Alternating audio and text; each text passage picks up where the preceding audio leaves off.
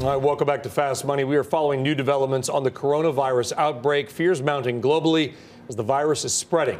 We have full CNBC team coverage standing by. Seema Mody watching the travel sector, Contessa's digging in on the casinos. But let's begin now with some new numbers on that outbreak. And for that, we go to Meg Terrell at HQ. Meg. Hey, Brian. Well, the numbers are climbing by the day. Now more than 650 confirmed cases and 18 deaths.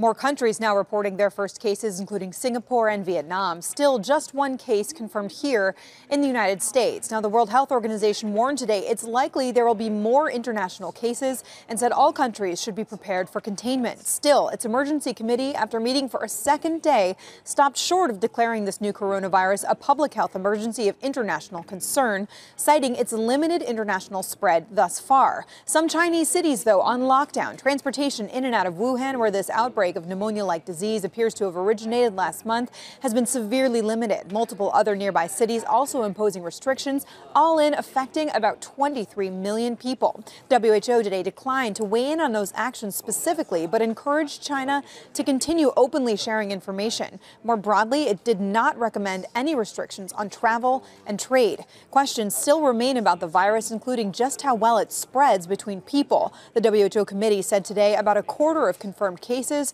are reported to be severe. For some context, as the case count now tops 650 with 18 dead, Here's how that compares with previous coronavirus outbreaks, SARS and MERS. SARS affected more people with a mortality rate of just less than 10%. MERS affected fewer than SARS, but that mortality rate, guys, was higher. Ryan? All right, Meg Terrell, Meg, thank you very much. Uh, you know, the world is obviously watching this very closely, Karen. This is a big deal. Uh, it is I don't want to say contained. So far, the numbers have been fairly favorable, I, I, think would be fair to say, given the risk of this outbreak. But the market doesn't seem that bothered by it vis-a-vis the VIX and what stocks are doing. Right, uh, the VIX isn't, but some of the names, uh, some of the names really have been. I mean, luxury stocks have been getting hit. Louis Vuitton down a lot, Kering down a lot. To me, I bought some Yum China today, and it's just for a trade. I normally don't really trade around a lot, but it's worth 10% less than it was January 17th before this all started. That to me seems aggressive on the downside, very aggressive. And so, I mean, we've seen this before. We've seen it with SARS, we've seen it with Ebola, we've seen it with swine flu. These things do generally pass, other than the, you know, 1300 bubonic plague, they generally pass. So I think those there, there's opportunities out there that I think we'll, we'll see them quickly bounce back. I mean, hard. It's hard to say. Look, I'm not suggesting. I know it's contained, but on the other side of things, I can't say. You can't come out and say categorically that it is. But to Karen's point, I mean, it's extraordinarily difficult to trade this. You're not trading the broader market around it, but individual names that have been sort of taken out to the woodshed to the extent she talked about make a little bit of sense. I think you can. But if you're trying to game it on a broader market, I, I, I think it's it's as hard as this game is. You've made it that much harder. Okay. So there's the news in the macro. Now, do I dig down a little bit, perhaps starting with the most exposed sector to coronavirus. That, of course, is travel. A lot of individual stocks there really have been hit hard. Seema Mody joining us now with more on this side of the story. Seema. Yeah, Brian, uh, news of this virus spreading is certainly not good news for the travel industry that has really enjoyed a rising demand from Chinese travelers around the Lunar New Year. In fact, in 2019, travel within the mainland jumped 8% during that two week period around the holiday festive season. That's according to government data. Now, analysts warn that these new travel restriction and fears over getting infected will likely disrupt travel. The question is to what extent shares of travel operators, Booking Holdings, Ctrip, are down in today's trade. The cruise lines that have been investing in China over the past couple of years under pressure. Now, of the three, SunTrust analysts say Royal Caribbean has the highest exposure to China, accounting for 6% of the company's full year capacity. Carnival is around 4 to 5%. SunTrust Patrick Scholes says while history has shown that travel stocks tend to sell off following a health scare, in most instances, these stocks do rebound about one to three months after. Experts say it really depends as to how fast this virus spreads, how long it takes health officials to contain it, and um, you know at the same time the impact it could possibly have on China's economy. Brian. All right, Seema Mody, Seema, thank you very much. Why don't we talk about and trade maybe some of these names, Dan? Yeah, you know, it's interesting. Uh, so we just talked about how it really shouldn't have a huge impact, let's say, on U.S. stocks, but obviously she just mentioned some multinationals. It's having a big effect on uh, Chinese stocks. The Shanghai was down almost 3% last night. And so when you think about this, I mean, you think about the last point is like, what does it mean for economic growth at a really important time, the, the, the Chinese New Year? Um, who knows? You know, this might be the lowest GDP print in 2020 for China in decades, below 6% this year.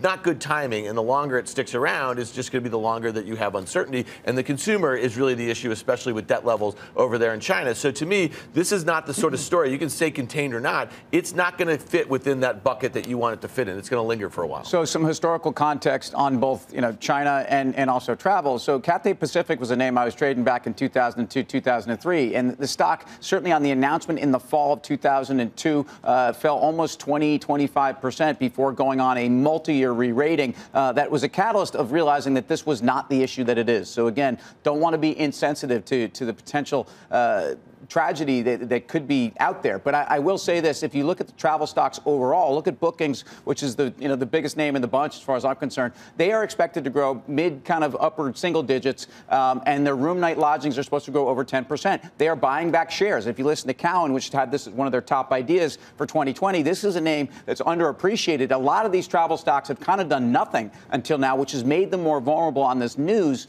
But I think this is one you take a look at. Yeah, and also we talked about it on the exchange today. RCL Royal Caribbean.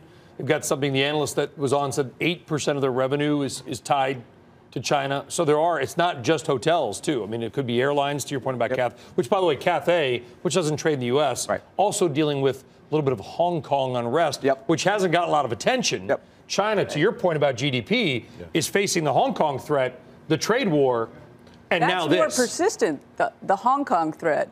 Yeah, I mean, just hasn't been on the front pages, but it's still going on. I mean, nothing has been resolved in one of the key financial markets in the world. Right. That to me is more of a drag. I mean, to me, I also think even if travel stocks report a really bad quarter, I think that people would just look through it. They'll get a pass.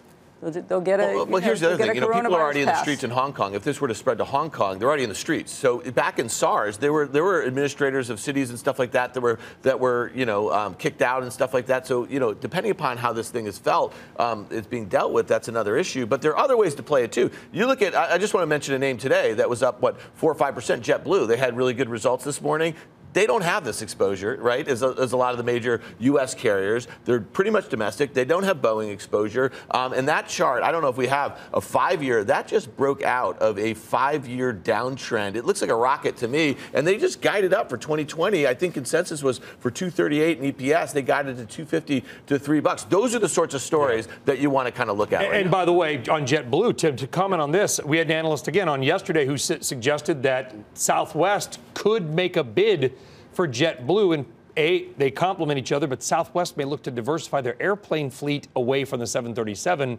You can do that very easily by buying another company that has a lot of Airbuses in it. There, there's always a lot of speculation. The industry certainly could see more consolidation. Southwest CEO on the network this morning talking a little bit about the dynamics also of, you know, could they go to uh, an Airbus plane? But I think a lot of this stuff is, is certainly all in the mix. Um, I, I just think, you know, also look at the chart. We're going to talk energy later in the show, but charts in oil, charts in copper, charts in anything that look like they're an impact on global demand and commodities are falling here. Um, and I, I think he, he, right now, okay. I would be watching for being overdone.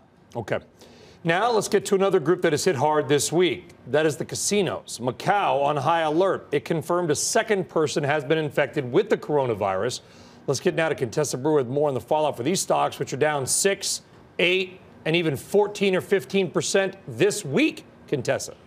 Yeah, I'm looking at Melco right now, down more than 15%. Brian, Macau was hoping for a booming business over this week's major holiday, and instead, now it's identified that second case of coronavirus. It has canceled all large public celebrations. The Macau government ordered the casinos to put masks on all their customer facing employees and airlifted a major delivery of face masks into the region.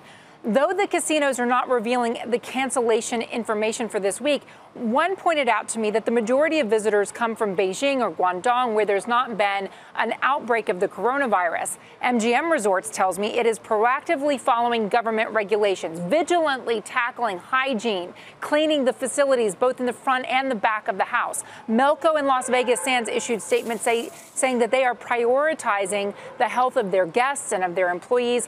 All the casino stocks in Macau have taken a hit this week, though MGM did gain back more than a percent of ground just today. Still, the gaming analysts I talked to expect share prices to suffer more before they're on the mend. The real question here is will this week's impact stretch on and be enough to impact the quarter's results? Brian. We'll find out. Contessa Brewer, thank you very much. Anybody on the desk buying any of these casino stocks on this week? No, we talked about this earlier in the week. And Wynn Resorts, for example, topped out at 150 in the spring. And it, over the summer, we said, you know what, it's been in this range from basically 105 to 150 held that 105 level. We talked about a chance for it to get back to that level. And guess what? That's exactly what happened. But despite the fact that it's gone from 150 to 139 where it currently is in almost a straight line, I don't see any compelling reason to buy the stock in the earnings at the end of the month. So the answer is no. Uh, I do think that the expectations on Macau going into 2020 weren't terribly high. I think the bar was reset. I think there was certainly already some regional headwinds that, that are there, and I think the comps are actually relatively easy. So, uh, I, you know, going into this tragedy or to this event and, the, and, and these headwinds, uh, I don't think the, the, the industry was priced for, for growth. Therefore, I think, you know, again, we think at some point this is going to get past this point where these things are trading yeah. on in the moment, but rather on longer term fundamentals. And I think they're going to get very interesting. You just do the math, right? We just don't know how many people are in. Let's say that let's say the casino's 25% full. Some people still go, and it's 25% full for two weeks. And then it's over, and then get, they get full back again. I mean, the, the revenue loss may not ultimately be that great. Now, if it gets more serious, it will. But yet the market, especially Melco, which is almost entirely in that region, Guy Adami, has gotten crushed. No, I think that's fair. I mean, you and I think this is one you probably can't trade around. But again, going back to Wynn, like as we get into earnings in a market that seems, at least in my opinion, somewhat vulnerable here, why get in front of this now when you can wait and see what they say in seven or eight days from now? That's the way I would play it.